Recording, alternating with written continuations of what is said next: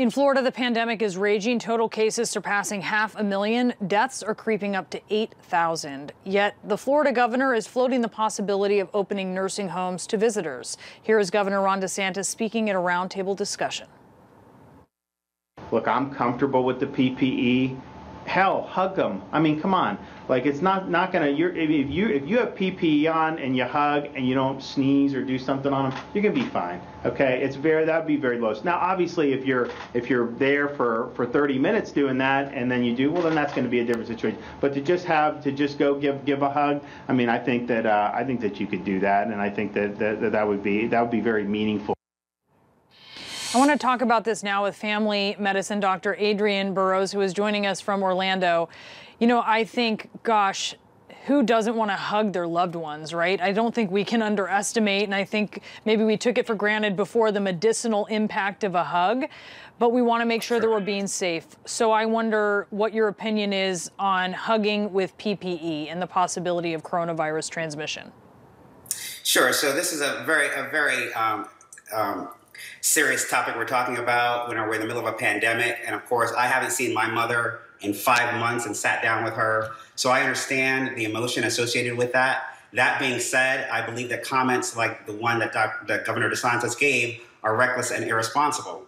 The reality is there is no um, evidence that shows that what he's saying is, is the right thing to do.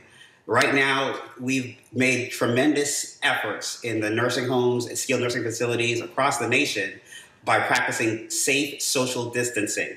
We do have to work on trying to get our families back together with our vulnerable elderly, but to say that we should be able to do those things with PPE on with no evidence is, is not appropriate. Okay, so the, the governor also floated this idea of letting family members who have coronavirus antibodies, so they've tested, right, that they have antibodies, the idea being they have some immunity, and allowing them to visit their relatives. Just give us the reality check on this, because there's actually a UK study that suggests immunity from antibodies may only last a few months.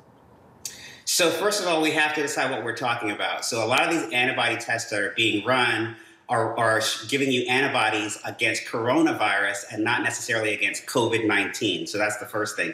The second thing is that we don't Wait, have can any you, Can I have you pause, Dr. Burrowes? Explain sure. the difference in that, having antibodies uh, when it comes to COVID versus coronavirus. Sure. So some of these testing methods are looking for um, broad based immunity to coronavirus, of which COVID 19 is one type but they're not necessarily specific to COVID-19.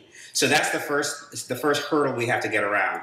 When you actually do have a test that shows that you have immunity to COVID-19, there's no evidence that shows how long that confers immunity for. In other words, it doesn't tell us how long you're immune for. And, and, so I don't think that should be a criteria to determine whether or not you should visit someone. We should still continue to practice the same social distancing guidelines that have been um, agreed upon in the medical field.